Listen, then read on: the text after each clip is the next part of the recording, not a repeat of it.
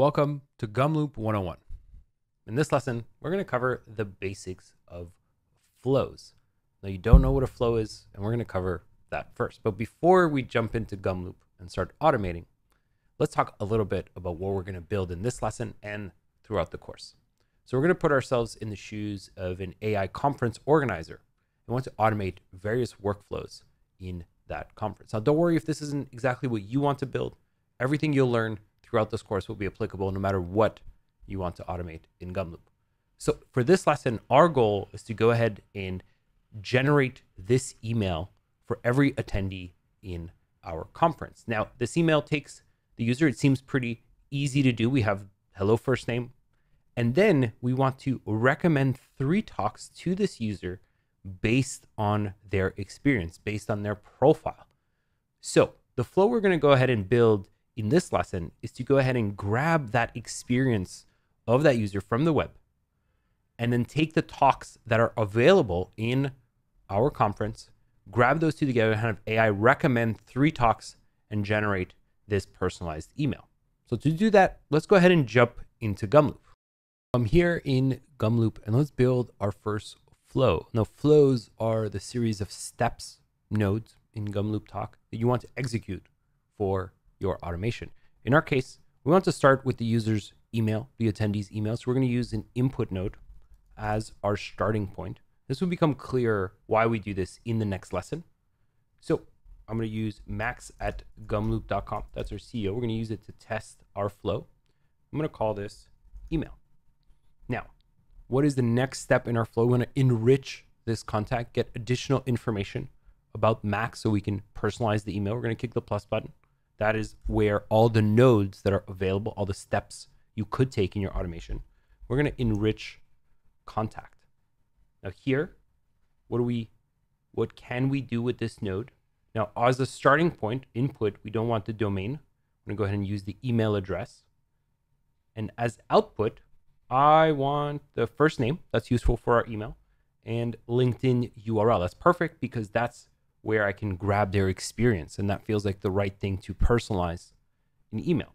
Now, the email address right here comes from input, comes from step one. So to share information across nodes, this two step process, first you connect the nodes. That makes the data available, as we now see right here on the right.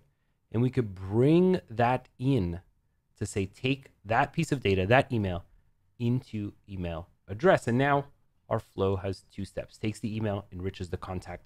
We're not quite there at having the experience to personalize the email. So we're going to click plus, and now we're going to use the LinkedIn scraper node. Now, there are a lot of nodes, and we're going to explore a lot of them throughout this course, but encourage you to play around and understand how they work.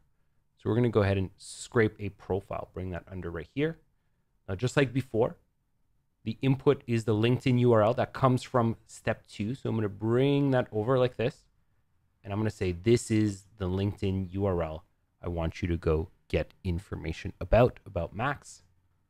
And what I want to output, first name I already have, country isn't quite useful. Right here, we have work experiences. So now I have that as an output. Now this feels like a good moment to test our flow. Let's see what the this outputs. I'm going to click run and it's going to execute every node in our flow. So we have the input, enrich contact, and I can dig in by clicking here. As input, we have the LinkedIn URL. And as output, I have the work experience. Now this is perfect because I can take the talks and take this work experience and ask AI to recommend three. So let's go ahead and do that. Click our plus button. If I remove the search, you see at the top, we have all the different nodes that use AI. There are a lot of them, and we're going to explore quite a few during this course. Let's use this one right here, the Ask AI.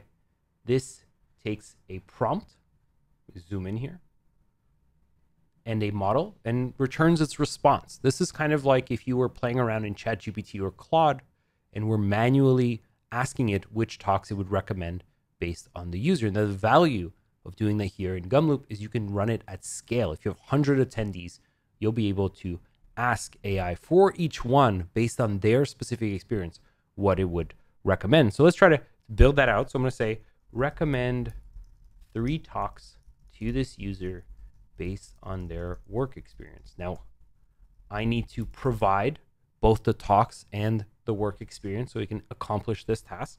I'm going to add in a little space, work experience, like that. Now, where does this come from? We have it right here in step three. So I can bring that over, connect those two nodes, bring in that value, that output here. And then I want to say talks to pick from. Now I'm going to grab this from a Google Sheet. I'm just going to paste it for now. Uh, and then in future lesson, in the next lesson, in fact, we're going to go and bring that in dynamically from Google Sheets. So these are the talks it can pick from and based on this work experience. Just like before, let's go ahead and run this flow. Now, quick pro tip, we're going to resume so it doesn't execute all of the nodes. I'm going to tell it to resume from here. So it's just going to go to LinkedIn, grab the Ask AI, but it's also going to have the information from the previous run. And here we go. We see that we have the response. Let's dig in, see it a little bit better. Based on your extensive background in software engineering, it recommended three talks. That's amazing, but it's quite verbose. This is probably not what we want to put into the email. So let's go back into Ask AI and adjust the prompt a little bit. So I'm going to say output in bullet list and only output the talks you recommend. No need to include your reasoning. Now let's go ahead and resume.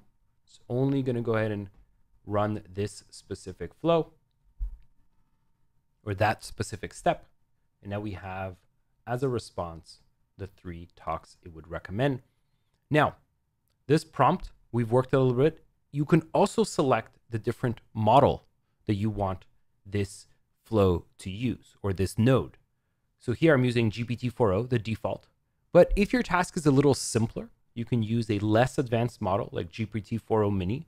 And you have an option of selecting across various providers of models like Anthropic, Google, Perplexity, DeepSeek, and throughout this course, we'll use different options to explore the options. I also recommend you try them out as you're building out your flows. Let's keep the default. And now the final step of our flow is to go ahead and email or draft an email that we can send out to the user. So I'm going to go ahead and email. I'm going to use the Gmail so it's coming from me. Now let's configure this node. Now the body, I'm going to go ahead and paste in what we had uh, uh, as our email. Let's look at this template. Hi first name, that's going to come from our second node, that enrich contact. So I can bring that in like that and drag that into right here. Adjust the spacing a little bit. Here we go. And now it's going to dynamically bring in the first name. And finally, we have the relevant talks. That's the response from the AI. So I can bring that over. Now, note you can connect multiple previous steps to one. So the outputs from previous steps. I'm going to go ahead and have my little bullet list right there. And now let's continue configuring the recipient. That's our input. That's our first step. So we're going to have to connect that one as well. We have three connections. Grab that over recipient, and the subject is going to be static. I say three talks we would recommend. Like so. Now we've configured this node. We collapse that, organize it a little bit. Here we go.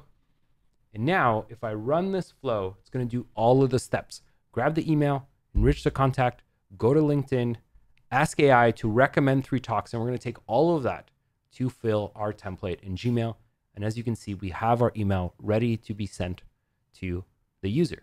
Now that was the basics of Gumloop. We've explored what a flow is, explored what a node is, explored a few of them like enrich contact, explored our first AI node, which was ask AI, and then sent out an email. In the next lesson, we're going to make this real, right? We're not going to click run for every person who applies to our conference. We're going to go ahead and run this automatically based on our CRM, which will be a Google Sheet and explore how you can scale these workflows.